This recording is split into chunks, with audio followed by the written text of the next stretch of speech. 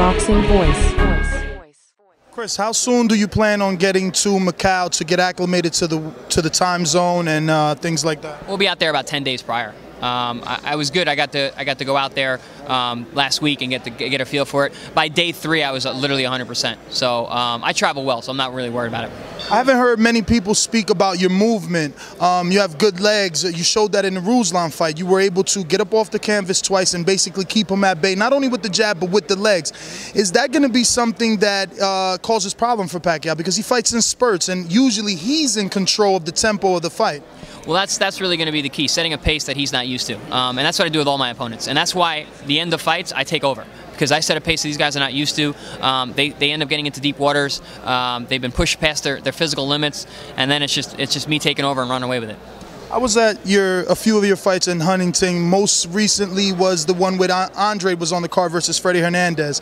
Now, what's the difference? Clearly, I know, and maybe the world, but for you, what's the difference between those promotions in the Paramount, in Huntington, and now this, the grand stage? I mean, this is this is so much bigger. The magnitude is is is you know so many times bigger. It's it's it's tremendous. You know, going from the Barclays you know, going from the Paramount to the Barclays was eight times the size of the venue. It was eight times the amount of people were there. You know, and we're going to double the amount from, from the Barclays for this fight. So, um, you know, yeah. Plus the views are are are, in, are crazy. But at the end of the day, it's just me and Manny in the ring and or me and my opponent, whoever that opponent is. This this one happens to be Manny. So that that's what matters. You know, those millions of people that are going to be cheering for Manny that night, they're not in the ring with him. You know. team talk strategy yet?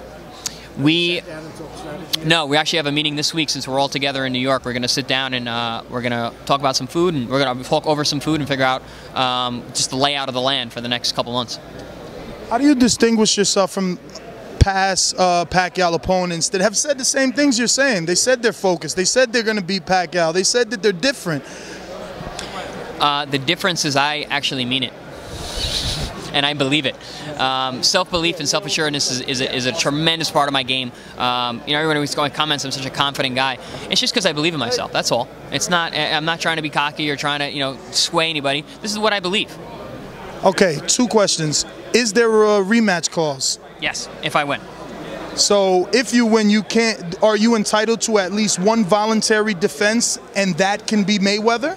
Um, I do not believe so, but do not quote me because I'm not a lawyer.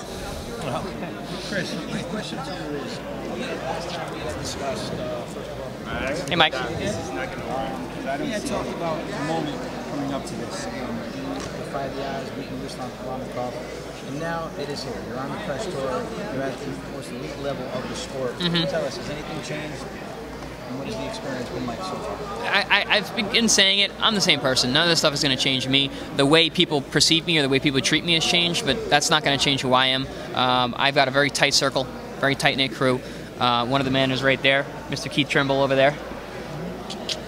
You know, and um, and he'll tell you, and he can attest to it too. You know, all this is this is this is all on the outside, but at the end of the day, it's, it's us and the gym. That's, that's the boxing voice.